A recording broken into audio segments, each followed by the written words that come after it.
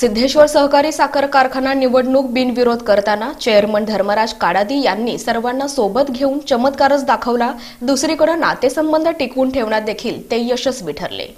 सिद्धेश्वर सहकारी साखर कारखान्याच्या निवडणुकीकडं सहकार क्षेत्राचं लक्ष लागून राहिलं होतं. निवडणूक लागणार अशी परिस्थिती असताना नाट्यमय घडामोडीनंतर ही निवडणूक अविरोध झाली.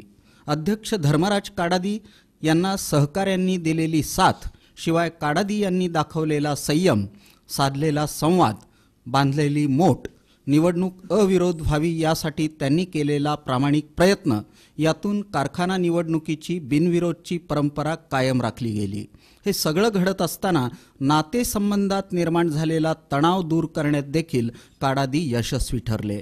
अर्थात संपूर्ण यश आलं ते काडादी यांना लाभलेल्या सहकार्यामुळं.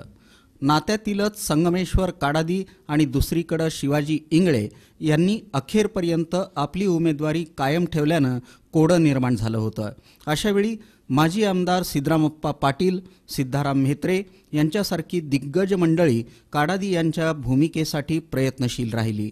दुसऱ्या बाजूला आप्पासाहेब पाटील वडकबाळकर अशोक पाटील महादेव पाटील मल्लीनाथ सोलापुरे गणेश चिंचोली यांनी देखील शर्थीचे प्रयत्न केले. काडादी यांचे पुत्र पुष्कराज उर्फ अण्णाराज काडादी यांनी देखील निर्णायक असा पवित्रा घेतला. अखेर शेवट गोड झाला याचा आनंद काही लपून राहिला नाही. सिद्धेश्वर सहकारी साखर कारखाना सध्या अडचणीतून जातोय. काही आव्हानं या कारखान्यासमोर आहेत. अशावेळी निवडणूक लागणं ही बाब निश्चितच परवडणारी नव्हती. शिवाय सभासद ऊस उत्पादक यांच्या अपेक्षापूर्तीसाठी स्थिर व्यवस्था कायम असणं हे देखील गरजेचं होतं. दुसऱ्या बाजूला इच्छुकांची संख्या वाढलेली होती. अशावेळी योग्य तो समन्वय आणि संधीची समानता ज्येष्ठ मंडळींचा आदब राखत धर्मराज काडादी यांची पावलं पडली. विश्वासाचं वातावरण निर्माण करण्यात ते यशस्वी ठरले.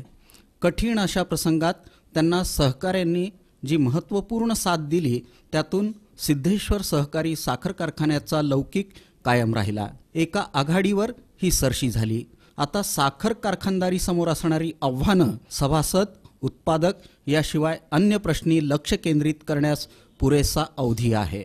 सर्वांनी जी एकजुटीची भावना निवडणुकीच्या काळात दाखवून दिली ती पुढील वाटचालीत देखील कायम राहील असं धोरण अध्यक्ष या नात्यानं धर्मराज काडादी यांना राबवावं लागेल.